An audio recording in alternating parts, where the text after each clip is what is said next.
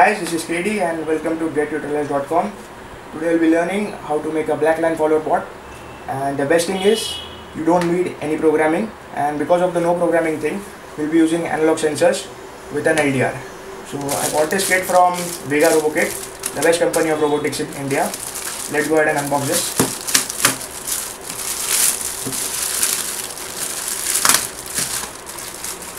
Are variety of products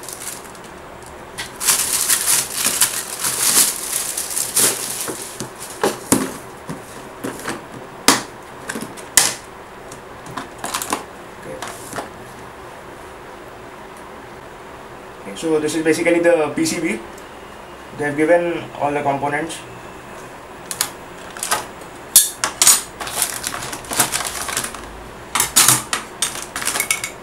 And our chassis which we which were used in earlier video for the Robocon Junior thing. They have given you another PCB but this is not exactly a PCB because there is uh, nothing printed on here. So if you're submitting this to any educational institution this will be very supportive. Your tires caster wheel for front support and these are BO2 motors of 60 rpm these are some components which you need to solder on the PCB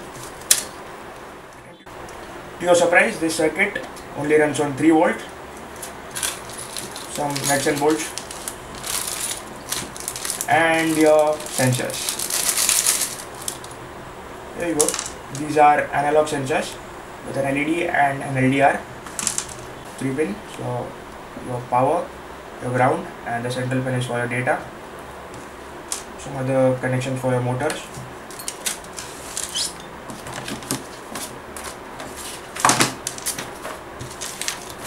they have also given some description of each and every component they are providing. The circuit diagram of the whole thing. These are the LDRs the analog sensors on both sides coming in through and the motors. I'll be explaining this later. And your 3 volt DC supply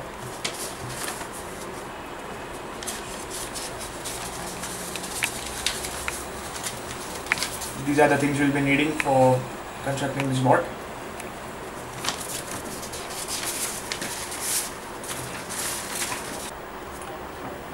You shall also be needing some spacers and a few cable ties to fix the PCB and the battery connector on the central body.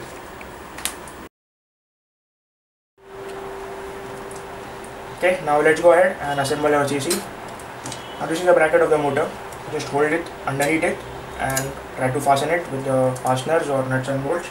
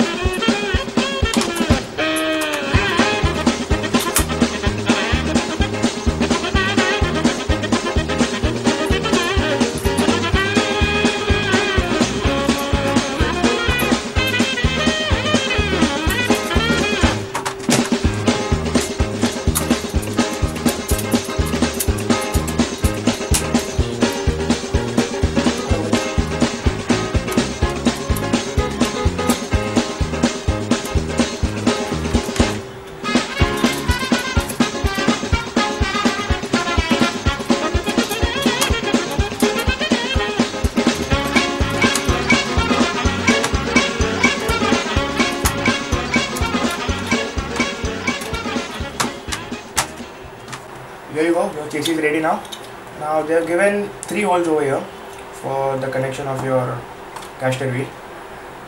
Now don't fasten the remaining two because you will be adding sensors over there with the help of some metal strips provided to you. Now let's go ahead and connect these motors.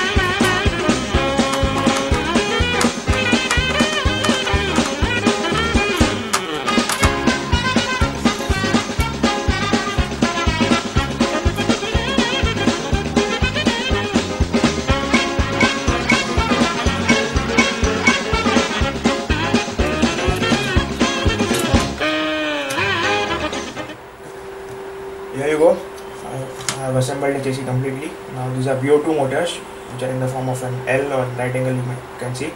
Now I haven't soldered the points. I'll tell you later or we'll solder them later. This is the caster wheel. And you may notice I have inverted the front support of the caster wheel. Uh, this is because we have to use the sensors. Now let's go ahead and put on some tires. Now you can see it has a notch over here which goes perfectly in this and a small screw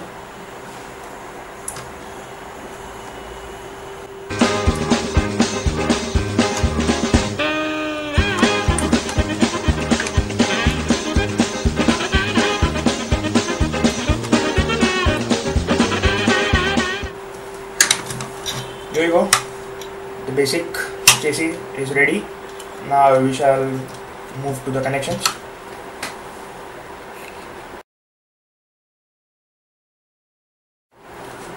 Okay, now to begin with the connections, bring in your PCB and the bag of your SMD components which they have provided. And they have also given the list of what they have provided. We have resistors and transistors. So we also have some presets, or we can call them potentiometers of 100 kilo ohms. Now this is the PCB. They have printed the values of each and every resistor or the transistor which you have to solder in. Here we have a close look of your PCB. Now you can see we have some values of resistors such as 1k, 10k and these are the presets or the potentiometer ports. Here we'll be having some sensor inputs. Here we have our two transistors. One of them is PNP and the other is NPN. Our motor inputs, our battery inputs and our central SPST switch. Now let me show you all of the components. These are all of your resistors. Now these are ranging from 50 ohms to 100 kilo ohms.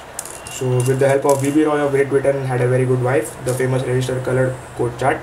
You have to recognize the values of each of the register and accordingly solder them. Here are the presets. Both of them are of 100 kilo ohms.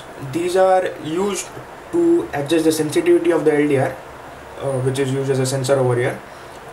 Both for one of one of them is for left and the other is for right.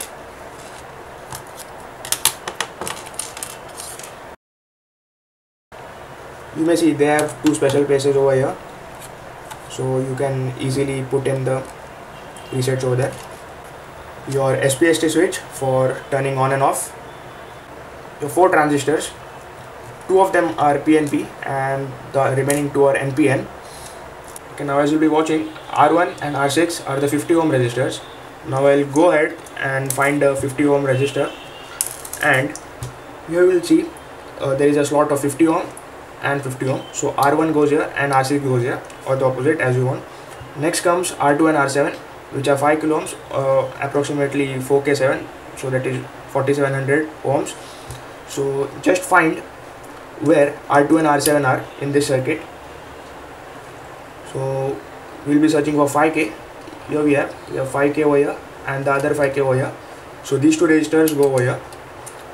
Similarly, complete all the registers and the presets by soldering this now coming to the transistors we have T1 and T3 the PNP transistor which is 9012 9012 shall be going here and over here and 9013 which is the NPN transistor shall be going over here and here the rest remaining connections are from the motor battery and the sensors.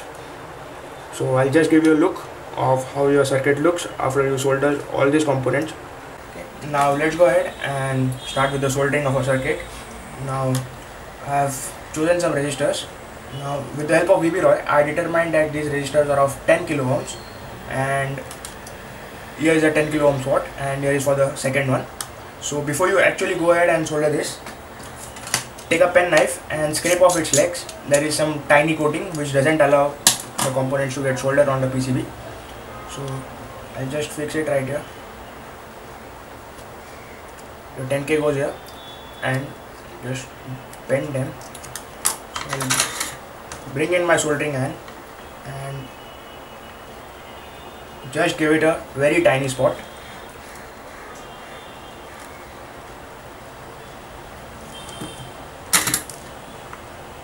you go and now just you may cut off these two legs. Repeat the same procedure for the remaining resistors. Here we go. We have soldered all our resistors and our presets which is a sort of resistance too now the next thing we'll be doing is taking our transistor. We have only four transistor 9013 and 9012 so it is in a shape of a D and here is one D so this is 9013 so I'll just put it inside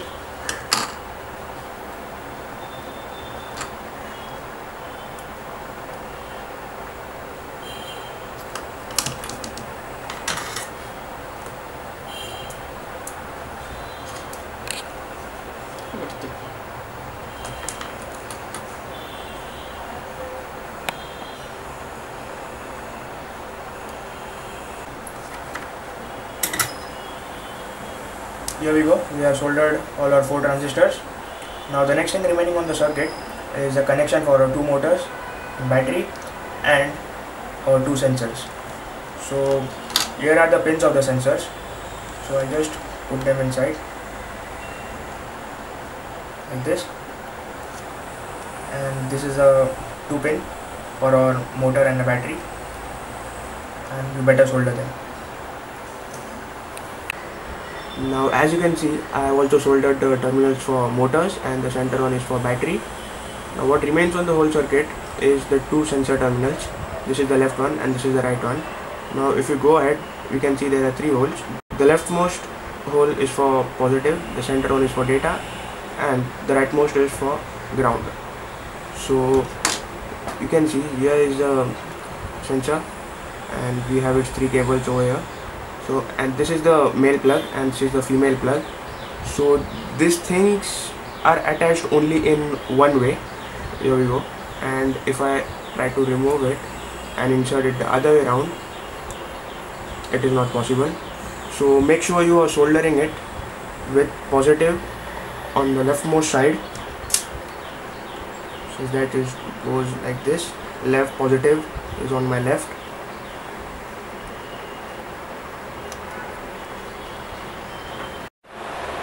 Now take some spacers and attach them to a PCB with the help of some screws provided to you and try to attach the same on the body with the help of a couple of screws.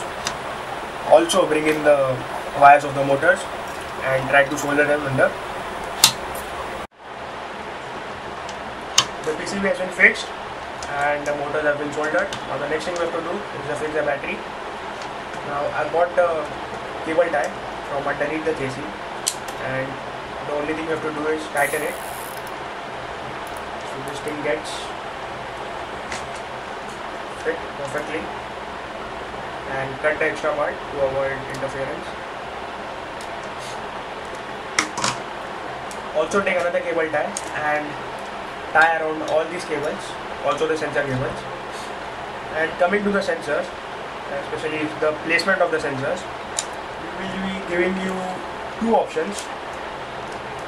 You either take metal strip like this, attach it to the two holes over here, something like this, you can see, and there is a hole on the sensor so you can simply join the sensor over here. So one over here and the right one over here. The second option is we are going to flip this whole thing and take spacers of 4.5 centimeter or 45 millimeter. And we are going to elevate the sensor from this top to the bottom like this. So I'll actually show you how I did that. Here we go. I have tied all the long cables with the cable tie. And this was the way I was talking about connecting the sensors. Keep the sensors as close the ground because these are analog sensors and we don't have a potentiometer to adjust its length from the ground. So here it is. And I have uh, switched on the circuit so that the red LEDs are on. Now I haven't plugged in the motors. If I plug in the motors immediately input and output process will be executed and it may follow a black line. So let's go ahead and test it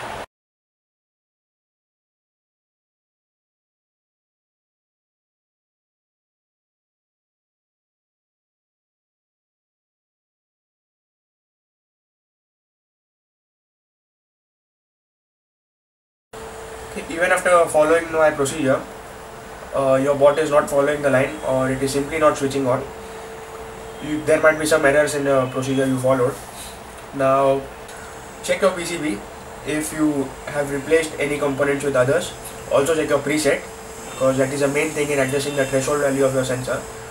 You will actually come to know what I'm talking about when you get hands-on on this PCB and this bot. The second thing is check for dry solder if you get a solder spot and that spot is not shiny then it must be a dry solder and dry solder doesn't conduct. So dry solder is one of the most error prone things in electronics. And check if your power supply is correct. If the polarity of your power supply is correct. Uh, you might sometimes exchange it from negative to positive or positive to negative. And if your motors are running in the opposite direction say your left motor is moving forward and your right motor is moving backward then the only thing you have to do is you have to change the polarity of your right motor. So after changing the polarity it will be moving from backward to forward. Also check the position of your SPST switch which is the main switch that switches on our board uh, there are markings on the PCB which says on and off. So and there are only two terminals which get shortened when you when the switch is activated so make sure you have soldered the switch in the right way.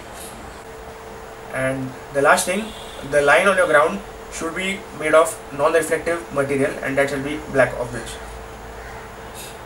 so please make sure you have enclosed all the things in your mind before submitting back this project to Vega even if it's not working